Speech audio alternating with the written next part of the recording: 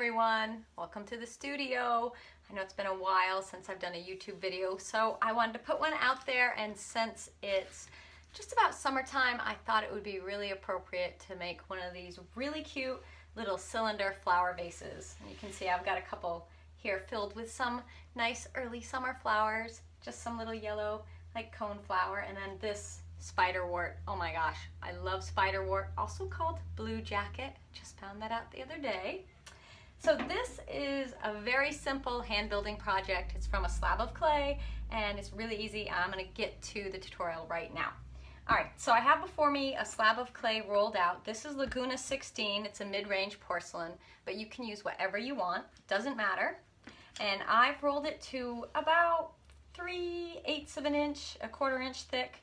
The thickness completely depends on you and what you're comfortable working with. If you want a nice thick stout vase, make it thicker. If you want a nice thin vase, make it thinner. Simple. All right, so I've smoothed both sides with a yellow rib. And now you can put whatever you want for texture. I'm gonna use these embossing rollers. I don't know if you guys have found these yet. They're awesome. They're used for fondant baking, you know, so you roll it out onto the fondant icing and then drape it over your cake. But here we're gonna use it on our clay. And I'm just gonna go, just roll it out, just like that. Now, if you find your roller is sticking to your clay, what you can do is spray the roller with nonstick cooking spray. Pretty cool. I'm just gonna actually play with this a little bit and come in and, and maybe do a little bit of texture going in different directions. Okay, so once you have your texture put in, I'm gonna cut out my template. Now if you're following along and you want a more in-depth, slower paced tutorial, why don't you go check out clayshare.com. It'll be posted here in the comments section. And there you will find in-depth tutorials on all things you can imagine, all kinds of ceramic courses. It is your online source for ceramic learning. You should check them out. Check me out because I'm there. Because that's me, if you didn't know. All right, transferring the slab to a board, and I just did a rough cut of the template. And now I'm gonna go back in and I'm gonna actually do a closer cut. I'm gonna do the top, then the bottom, and then I'm gonna do the sides holding my knife at an angle and it's going to be the same angle for both sides. And then we remove the excess. Boom. So here we have a lovely little rectangle ready to be rolled up. Now this is too floppy, so we can't roll this up yet. So we need to set it to the side to let it stiffen up.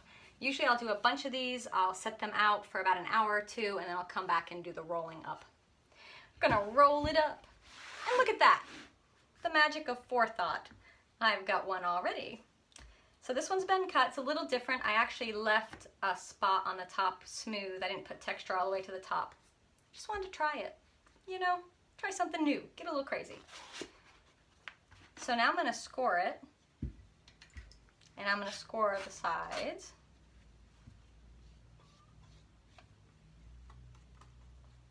And then just going to stand it up and I'm going to wrap it just like this. Now, I'm gonna stand up because I am not tall enough to see down in from sitting. So all I'm gonna do is line these edges up and I'm just gonna tack them just lightly with my fingers. And I'm gonna flip it over and I'm gonna do the same on the bottom. So I'm really just lightly tacking these edges together because I am gonna go back in and really smooth this join.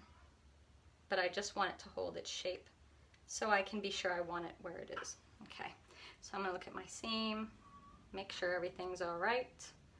It's good to go.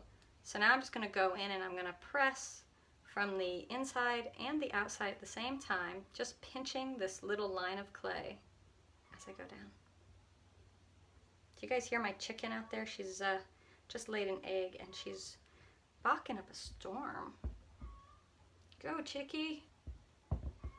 If this is your first time watching me, I have chickens. and they happen to end up sometimes in the videos. Just it's the way it is. All right, now I'm gonna go ahead and smooth the outside with a damp sponge and do the same on the inside. And then I also like to smooth this join with a rib. I just want to flatten it a bit. Now if you have texture here you don't want to lose, go softly. I'm okay with the texture kind of getting smushed because I can put it back in.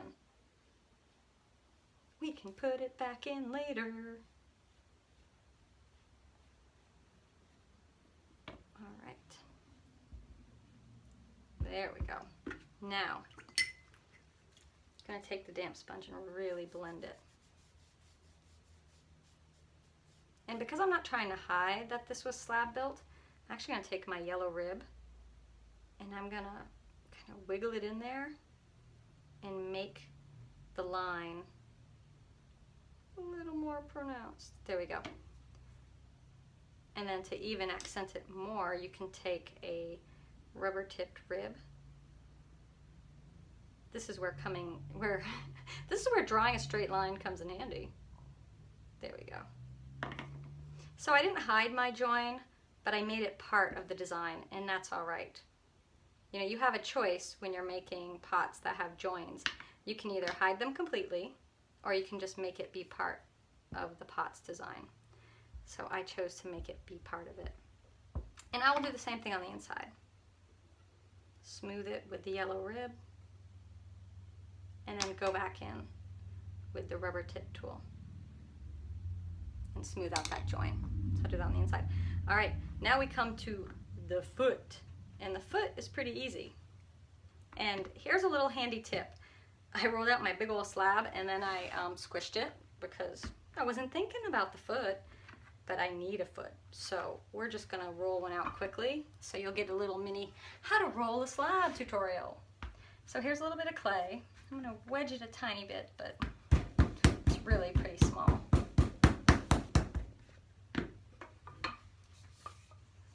It's important to find the biggest roller out there for rolling teeny tiny slabs. You all know that's a joke, right? I'm just kidding. Any roller will do.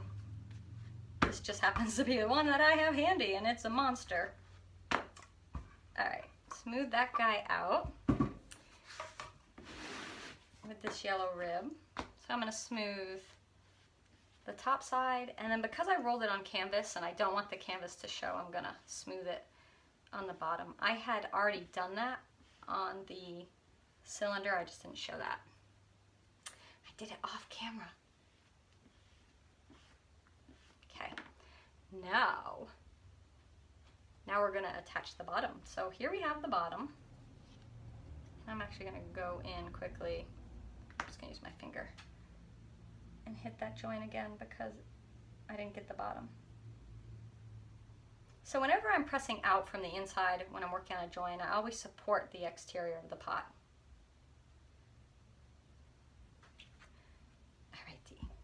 Serrated rib, dipping it in my water, slipping and scoring the bottom. And then just gonna place it on this slab right here. And Just kind of push it down lightly, and then pop it off. And what's left behind is this impression. So I know exactly where my slab cylinder is going to join the slab bottom. Then I'll just go in with the scoring tool, score this up, and then we flip it right back over. Stick it right back on there.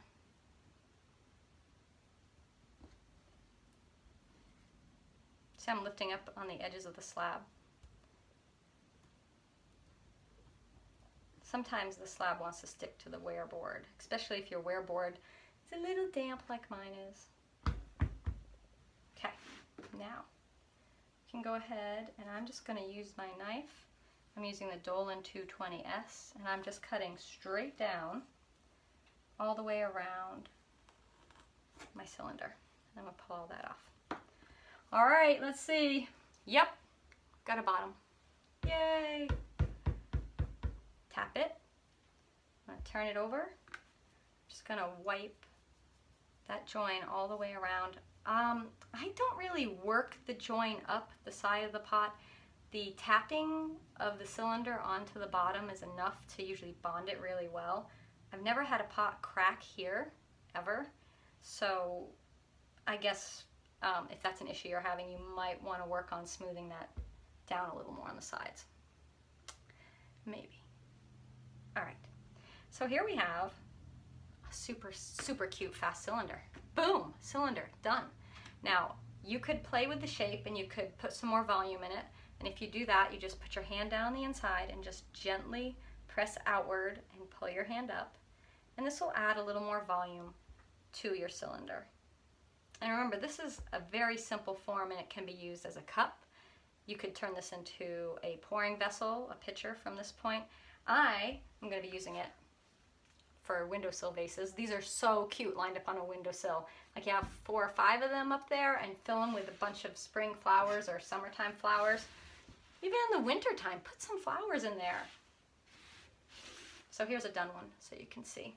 And for those who want to know the size of this template, this was a 7 inch high by 10 inch wide template. And I just cut a slab, rolled it up, joined it. The last thing I'm going to do is just smooth the edge. I'm not going to do a lot of smoothing because it's not a cup, it's a vase, so I'm not really worried about someone putting this to their mouth and drinking out of it. If it was going to be a tall cup, which it could be, I would thin this a bit more and work it a little more just so it feels nicer on the mouth. But because it's for flowers, the flowers don't mind. But I definitely don't want any sharp edges.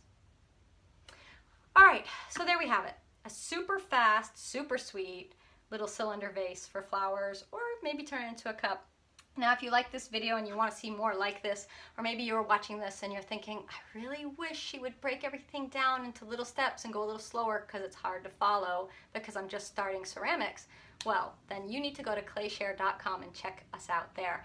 On ClayShare, I show you every little step, every little part. We talk about tools, we talk about materials in depth, and it's really explained clearly and easy. And the great thing is each video is only about two minutes long, so you can stop at any point and go back if you need to, or skip ahead. And currently we have 30 classes, over 100 HD videos up there, and um, we're on track to have about 170 by the year's end. So 170 classes on ClayShare. That's a ton of clay. All right, guys. Well, as always, it's been a pleasure, and I can't wait to see you next time here in the studio.